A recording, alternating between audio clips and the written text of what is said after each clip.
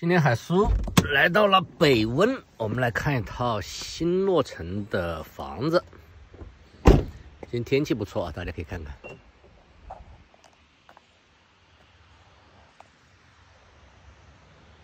秋天的温哥华，现在在变得五颜六色。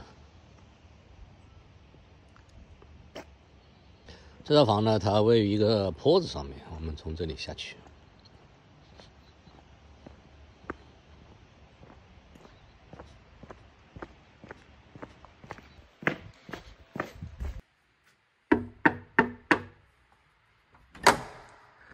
哎，你好，哎，欢迎。老陈，这是你新家吗？哎，不是，是我帮朋友建的。这你帮朋友建的？对对对。那你的主要工作什么？主要过程。你是搞搞？你做工程吗？做工程，做所有的全过程。啊。拆房子到现在建建。做全过程管理，能不能给我们介绍这房子？看着很漂亮。这个房子是一个五千尺的一个独立屋。五千尺的独立屋啊。在一个北温的北温的斜坡上面。啊，然后，呃，开始的房子旧房子非常小，很破旧。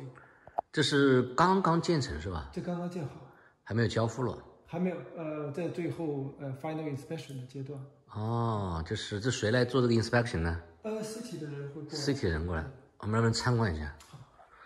这个是一个，哦，衣服间。这是衣柜。衣柜。然后呃，弱电箱也在这是不是就是说那些？因为这里冬天可能大家穿个外套出去，进来第一件事就把外套放。对，这是靠近门口的。哦，下面是鞋柜是吧？下面鞋柜。呃，这只是一个鞋架子而已。鞋架子啊。好。那这个房子的设计是谁做的？这设计是一个白人的设计师做的。啊，请那位白人设计师，你请的？呃，owner 自己请的。owner 自己请的，就是他可以自己请设计师。也可以委托你找，也可以委托我来做。那你主要是管施工建设是吧？呃，整个过程对。整个过程对。这个这个角色应该在在在这边有没有专门的名字呢？呃，你指什么角色？就您这个角色，比如说 project manager 啊这样子的啊。license builder。license builder 哦，就是有执照的建商。你对这个房子质量要承担责任的不？当然。多少年这个呀？呃，这个规范是有二五十的。BC Housing 的他们有一个 program，所有的新房子都是有两年、五年、十年，对建新建建筑的不同的部分进行这个两五十，呃，对这个保修，啊，也是一种 insurance。这是车库，车哦，这车库是我们看一眼。车库放了一些。哦，这车库很漂亮，全部都喷过漆了啊。啊，对对，也有窗户，新房都这样，门可以采光对对对对对。今天海叔视频的主人翁叫 Coro 陈，他是温哥华著名的华人建商，也是海叔的朋友。今天呢，海叔一边参观他新完成的一个住宅工程，一边呢，请他给观众朋友介绍一下在温哥华自建房需要知道的一些小知识和小秘密。好，我们和 Coron 一起来欣赏他的最新作品。这个房子它是几层啊？它是错层结构的。错层的，三层，但是是个错层的建筑形式。那是真的在烧木材吗？呃，这是呃煤气的。烧煤气的啊。对。哦，这景色应该很漂亮，我们下去看看。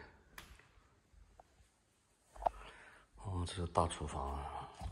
现在是不是这边都流行双厨房啊？呃，对对对，很多呃华人的客人喜欢两个厨房，因为中国人烧菜可能油烟比较大。对。就炒菜的时候可能就在这个。这是啊，这是中厨。对。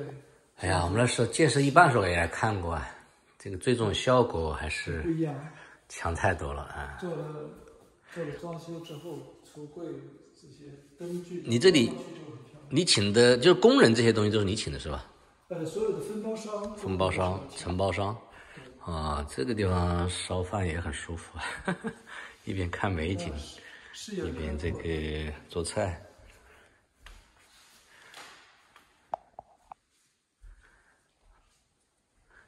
那这个业主也是华人了？对的，是是华人。他这个请你来做总包，没有请洋人啊？呃，洋人，嗯，一个是洋人他的水平参差不齐，洋人建商现在在市场上面有一些洋人品质很高，但是他们收费非常非常贵。嗯然后有有还有一些洋人呢，其实并不专业，他们只是一个洋人的面孔，但是他们做的东西并不细。这个山坡上的景色是真好啊，嗯，对。这房子也非常高哎，呃，这个位置是特别设计的十二尺高的 ceiling。十二尺，相当于四米了啊。对对对，这局部是特别高。嗯，呃这肯定自己建房子的优点了。对，这个可以自己选择和设计师讨论。然后我们这个呃建筑设计师做完之后，室内设计师他开始工作的时候，我们有很多想法跟他沟通的。尤其是我们就作为 builder，你会跟他沟通很多细节内容。呃，就是说您这个帮人建房子的话，等于说这个所有的工程方面事情，对吧？就是你全包了。你来安排。所以就是说，屋主如果想自己在温哥华盖房，那么其实他找个像您这样的有执照的 builder，他其实就根本不需要自己再懂任何这个工程技术方面的事情。对他们不需要懂，他们只要有对提出要求，我们就帮他们去。那你这个，你找施工队这些的话，要最终就是说找谁不找谁，多少价钱，这个是你说了算，还是要跟屋主商量决定的？呃，小的小的工程我我就决定了，嗯，呃是呃费用高一点的分包呢，我会跟 owner 一起商量。跟 owner 一起商量。嗯嗯，就是 owner 在这个过程中，他其实还是有自己的这个，控制控制权会有很多的控制权，然后他们也会呃呃提高自己的一些 finish 的档次啊，或者选工它像需要好一点，他可以都可以做决定。哦，那还挺好的。最终还是他们决定，因为呃我还是要尊重他们的想法，这就是 custom home 的特点，这是机构的。那这个费用的预算是怎么做呢？比如这个房子要多少钱？干下来做完建筑设计图纸之后，我会做一个预算，然后呃，我在那之前会跟他们沟通这个 finishing 的呃标准。啊，我听说现在温哥华这个很多这个建筑工程都超预算，超的很厉害，对，那就是他们预算做的不够不够好啊，不够好。呃，就是预算控制不行啊，就是呃预算做的过程中和预算执行过程中的问题。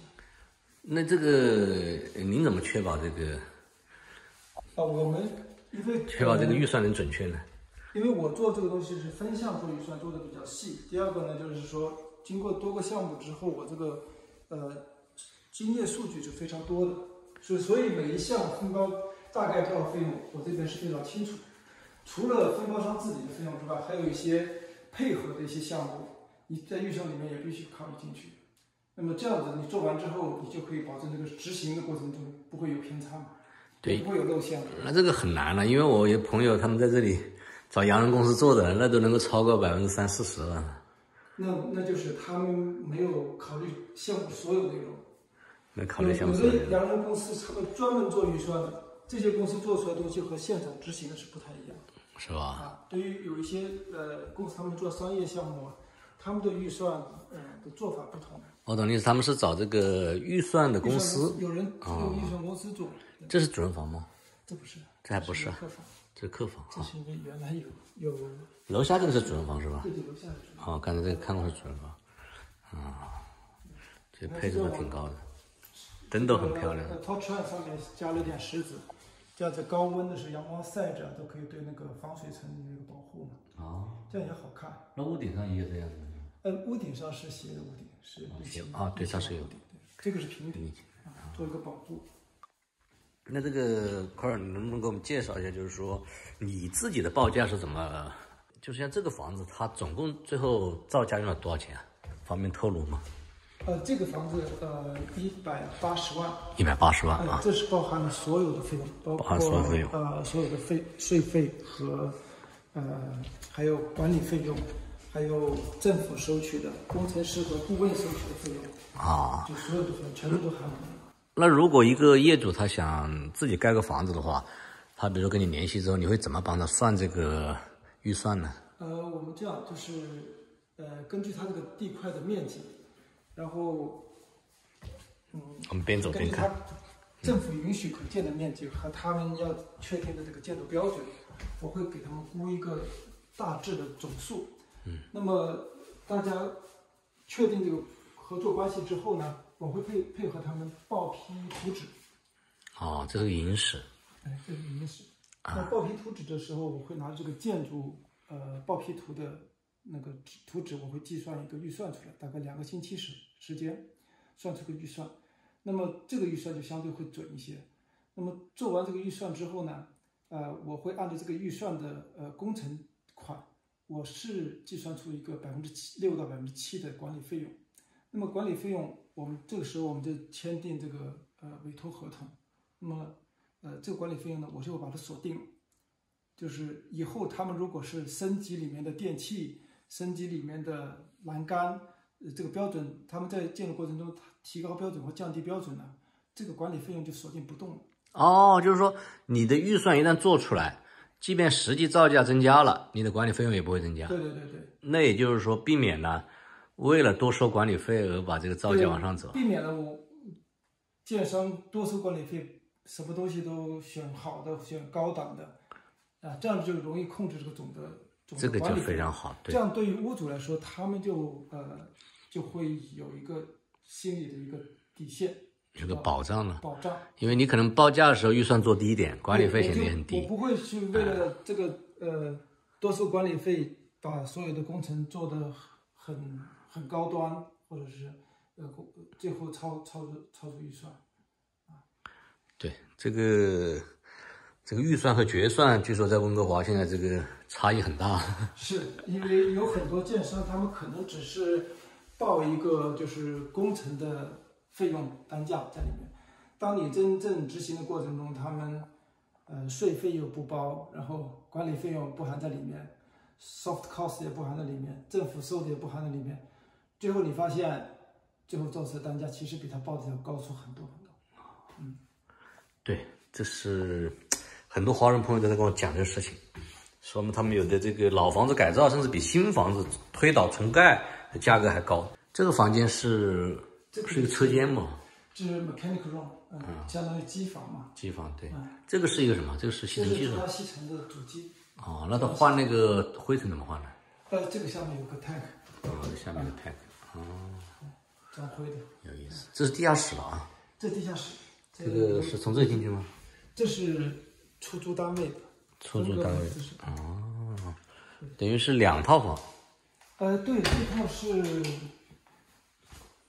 那单独一个出入口，那温哥华别墅的一个特点。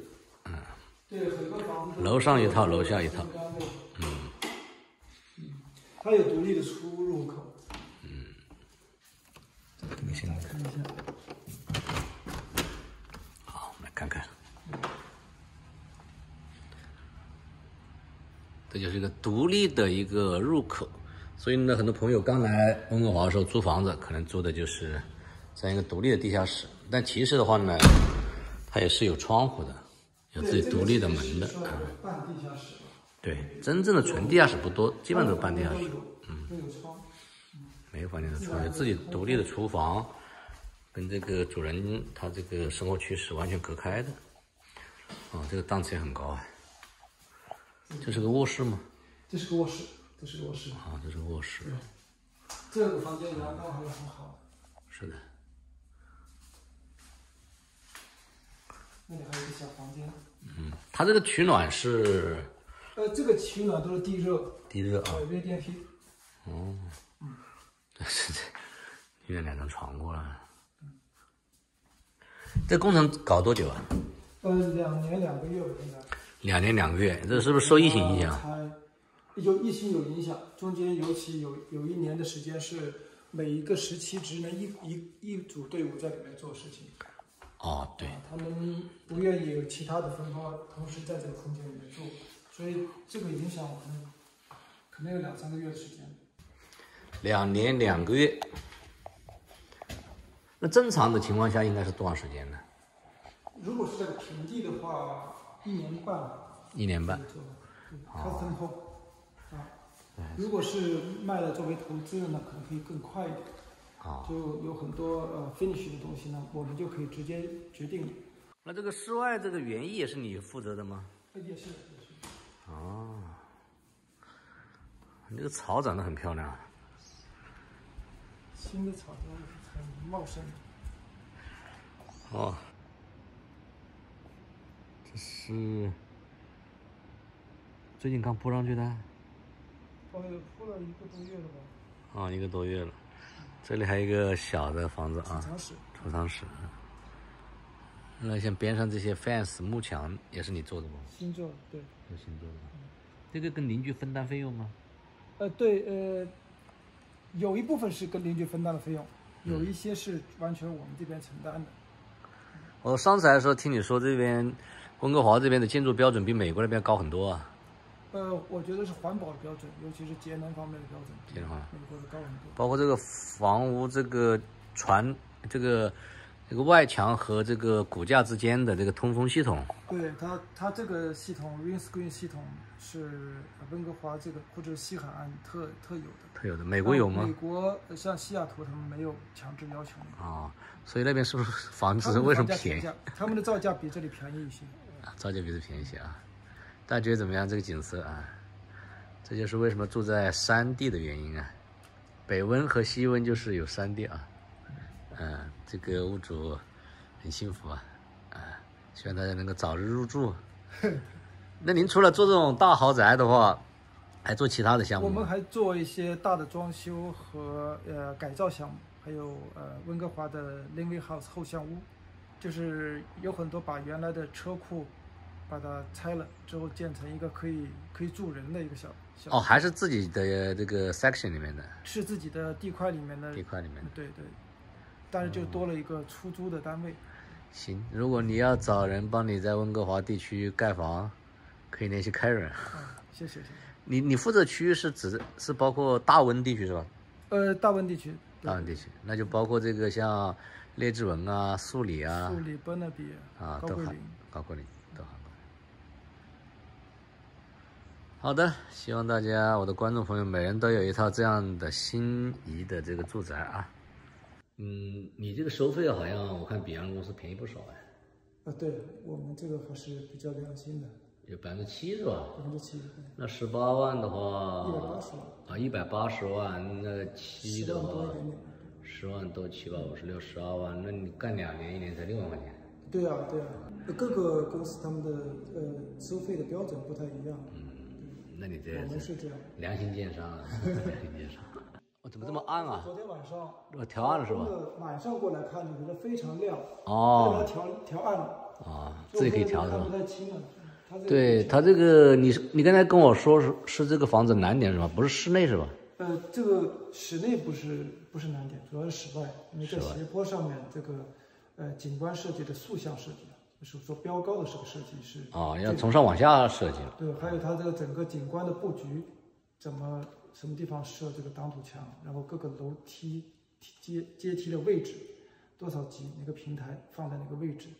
然后它各个砖的这个呃尺寸怎么做的精精确和精精致的这个效果？其实你刚才进来的时候，你们这一块，哎呦，这一块可惜，嗯，可以看，就这一块，这一块好像是这个弧线的是吧？是，这是弧线。这个据你上次跟我介绍，好像费了很大力气做这个。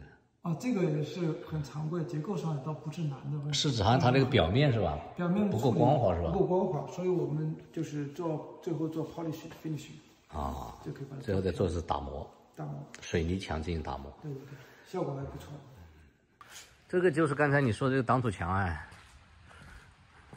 我记得你上次还跟我讲说是好像当时这个刚开始做的时候是那个木头变形是吧？呃，因为对那个模板下雨。